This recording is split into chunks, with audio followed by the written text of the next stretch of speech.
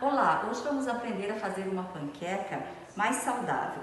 Para essa panqueca nós vamos usar dois ovos, uma xícara e meia de aveia, pode ser farinha ou farelo, 200 ml de leite, duas colheres de farinha de trigo, duas colheres de linhaça e uma colher de sopa de gergelim e uma pitadinha de sal para dar cor. Essa massa de panqueca nós vamos usar para uma panqueca doce, mas se você quiser fazer ela para salgada também pode, só pode aumentar um pouquinho o sal. Para a gente rechear as nossas panquecas, nós vamos fazer um refogado com pêssego e com banana. Dá para usar outras frutas também, como abacaxi, por exemplo. Nós estamos aproveitando a safra do pêssego aqui do Cetrec, que a gente colheu hoje, e a banana, essa aqui é, é a variedade Catarina, uma banana prata também, que é uma cultivar da Epag. Então nós vamos refogar o pêssego e a banana na manteiga, mas pode ser usado óleo de oliva, se quiser, o azeite de oliva, ou também óleo de coco. A gente colocou umas gotinhas de, de limão no pêssego e na banana para não pretear e também ajuda ele não juntar muita água no pêssego. Para nós temperar depois o nosso refogado, a gente pode fazer a opção de usar a estévia. Aqui eu tenho estévia seca, que eu macerei ela com a mão e tirei as fibras. Aqui a estévia, adoçante natural. Podemos usar açúcar mascavo, podemos usar mel, ou ainda quem quiser pode usar o açúcar é, branco. E também nós temos aqui noz moscada, para fazer uma, uma panqueca com moscada e pêssego, temos a canela para fazer com banana e temos também o, o, o, cravo em pó que também pode ser usado tanto na, no, no pêssego quanto na banana. Agora nós vamos bater todos os ingredientes no liquidificador e depois fazer as panquecas.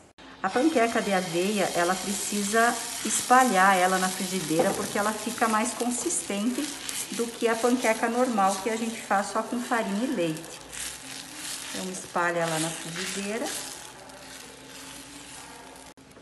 Agora vamos virar a panqueca.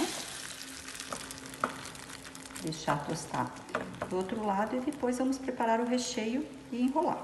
Agora vamos refogar as frutas, passar um pouquinho de manteiga na frigideira, melhor uma frigideira antiaderente e vamos começar com as bananas. A banana da terra, ela é muito boa para fazer assim refogadinha assada. Eu fiz a opção de deixar ela cortada em quatro para refogar, mas também se quiser cortar ela em quadradinho, pode ser. Agora vamos refogar o pêssego. Quem quiser deixar ele caramelado, depois que ele está refogadinho no final, pode jogar um pouquinho de açúcar ou mel e ele fica um pouco caramelado. Nós vamos fazer ele só refogado e vamos temperar ele na panqueca já. O pêssego já está refogado, fica um cheiro delicioso. Vamos tirar para montar as panquecas. Esse refogado pode ser usado para outras sobremesas, inclusive para comer com um creme de leite, né? Só o refogadinho assim fica uma delícia. Estamos com as nossas panquecas de aveia pronta, mas vocês podem usar a massa de panqueca que vocês quiserem. E nós vamos agora montar com o nosso refogado de pêssego. A gente fez esse refogado então com pêssego amarelo. Vamos colocar aqui no meio da panqueca. Esse aqui a gente vai temperar com um pouquinho de noz moscada.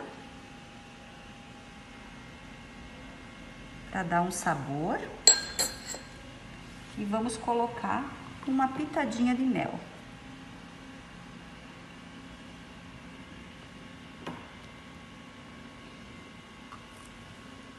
Quem quiser deixar ela mais light e saudável, a gente pode fazer só com o refogado sem o mel.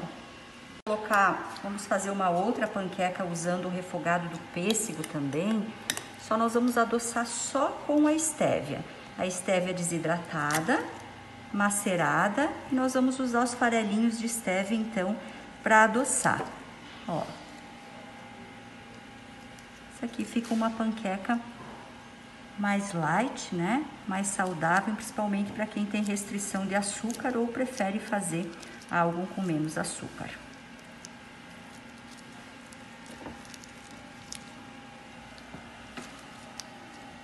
Uma com banana. Então, como eu falei antes, essa é a banana prata catarina, que é uma cultivar da EPAG. Na banana nós vamos usar então um pouquinho de canela.